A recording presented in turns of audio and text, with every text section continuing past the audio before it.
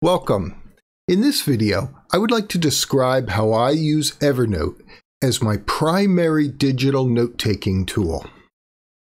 Sometimes I um, prefer to type my notes because I can type faster than I can handwrite. Other times I prefer to take notes using one of my handwriting applications on my iPad. All of that data can be stored within Evernote and then accessed on any of my devices my computers, my iPads, my iPhone, as well as through a web interface, such as um, I sometimes have to use when I'm using a university supplied computer at the lectern. Evernote has given me the flexibility to collect both personal, household related files and notes, as well as my professional work in a single location that is automatically synchronized to all of my devices. I'm displaying a page from the Evernote.com website. There is a free subscription to the Evernote application.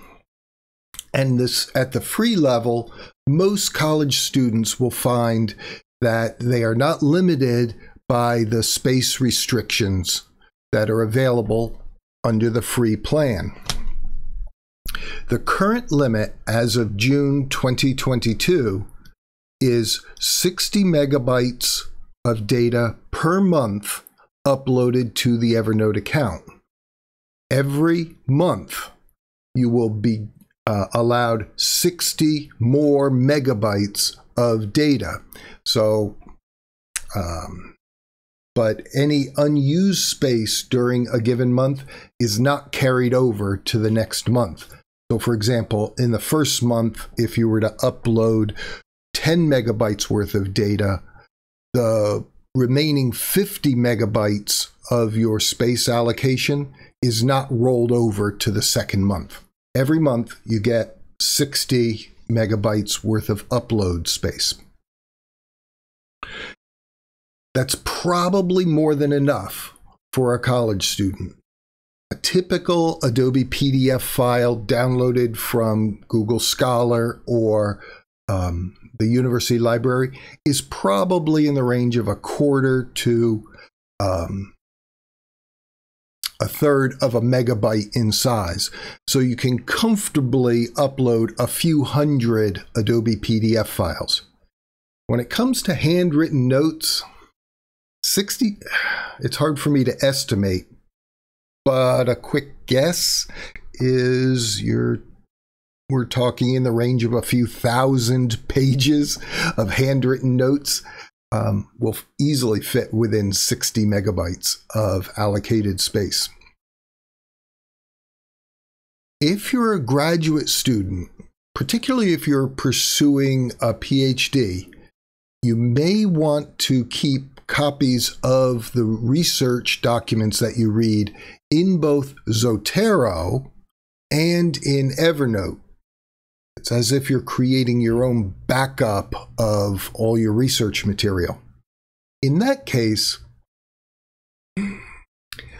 you could easily read 40 or 50 articles a week and exceed the 60 megabyte monthly upload allotment of the free account. And you might have to upgrade to a personal account for $69.99 per year or pay it monthly at $7.99 US. And again, even if you move from the personal account and then later switch down to a free account, you don't lose the files that you've already uploaded.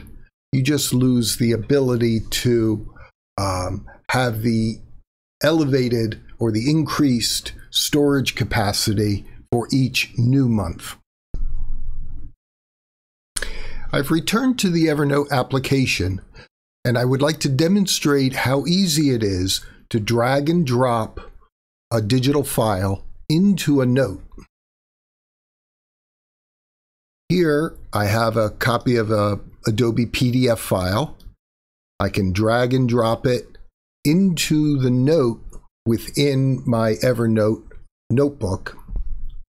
And I have full access to all pages of this Adobe PDF file. This note now, along with the Adobe PDF file, is automatically synchronized to all my other devices on which I have installed Evernote and have configured to use the same account. If I wish to delete a, the PDF file, I simply click on it and I'm on a MacBook, so for me, it's the delete key. On a Windows computer, um, I think I remember both the delete and the backspace key will remove a um, file from the note.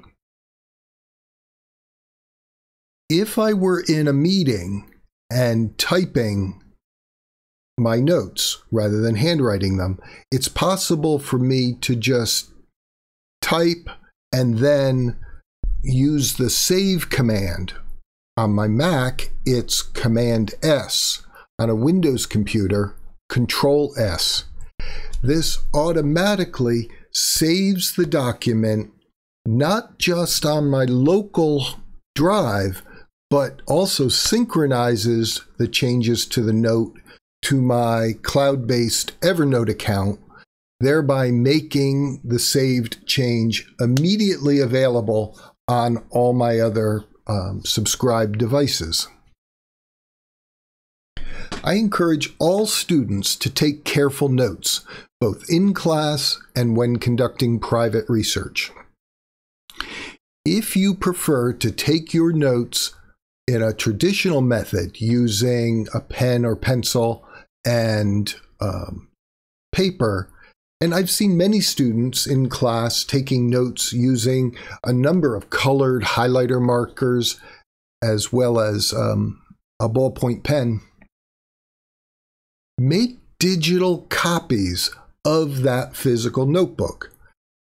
I use the Scannable app from the Evernote company on my iPhone to take to make PDF copies of paper documents. You could also take, um, use your camera app and just take a JPEG photo of um, your notes.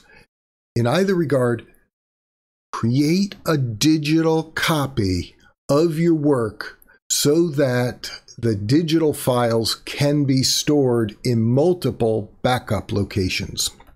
It's vital that you have a backup of all your scholarly work.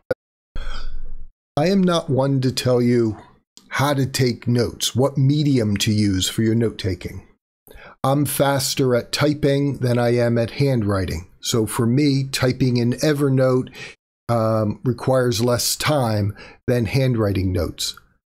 But sometimes I need to take uh, my tablet to a meeting because opening up a laptop computer at the conference table can be distracting to my colleagues the same might you might find the same uh, situation in your classroom, particularly if you're not sitting in traditional uh, rows and columns. If your classroom requires you to share a desk with um, one or more students. Sometimes it's a little easier to use a, a smaller recording device than a um, laptop. But whatever works for you, I encourage you to learn to use that method well. I have found Evernote to be indispensable to both my personal and my professional work.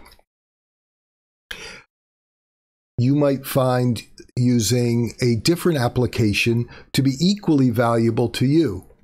Great, use that application But just make sure you've got backup copies of all your work. I think I'll leave this video here and wish you the absolute best in academic note taking. Bye for now.